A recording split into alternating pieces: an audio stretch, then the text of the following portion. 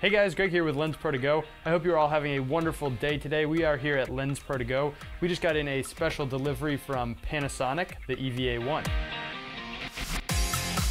So I got to see this camera earlier this year at Cinegear when Panasonic announced it. I haven't been able to get hands-on with it, so I'm not quite sure what to expect, but there is some really interesting features and specs about this camera that I'm gonna dive into a little bit later. For now, let's get right into the unboxing.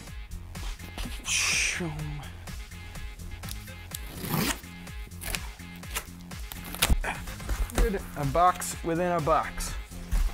Without shaking the camera too much. That other box out of there. Get some more cardboard, some styrofoam. Um, ah, so this makes it easy. There is all of the accessories. So we have a battery charger, a power adapter, this little guy. Uh, there's the battery. We have cable, strap, not sure why you'd use that. Microphone mount, and then an accessory for the microphone mount, I think to actually mount it onto the camera. Then we got the very small manual. Uh, this can't be the whole manual. Okay, little tiny manual, thin book.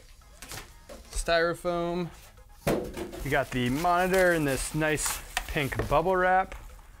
It's got a pop-up hood.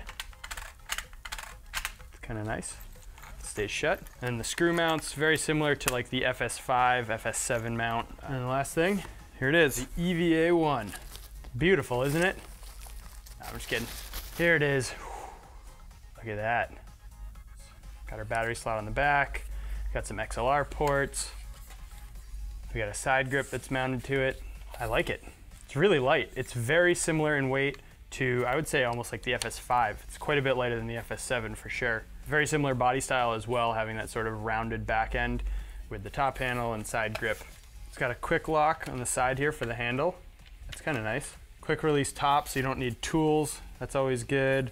You got all your normal buttons that most of these cameras have nowadays right on the side. You have your HDMI and SDI ports on the back, your big battery slot.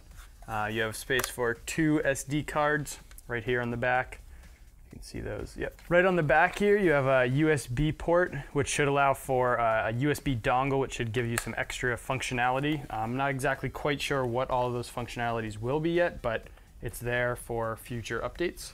So some quick camera specs. I'm gonna do a more in-depth video later if you wanna see more specs about it, but it has a 5.7K sensor. You can see the ND filter is actually rotated in there a little bit, but there's a 5.7K sensor in here, which downsamples to 4K, so you get a really sharp 4K recording. It can shoot 10-bit 422 internally. It can do 2K at 240 frames a second and 4K at 60 frames a second pretty standard specs for a camera in this price range. But this camera does something a little bit different. It borrows the dual native ISO from the VariCam series. So it has two native ISOs. One is at 800 and one is at 2500. This should allow for much better ISO performance. It's a little bit tricky to explain, so just make sure to stay tuned and I'll have another video coming out explaining the whole dual native ISO thing. If you're wondering where this camera sits in the marketplace, it's right around the C200, FS7, and maybe even into that C300 Mark II market. It's definitely higher than the FS5 and the C100 Mark II, especially being 4K, but you don't get a lot of the raw capabilities that you do with those other cameras. I definitely plan on doing some more extensive tests on the Panasonic EVA-1,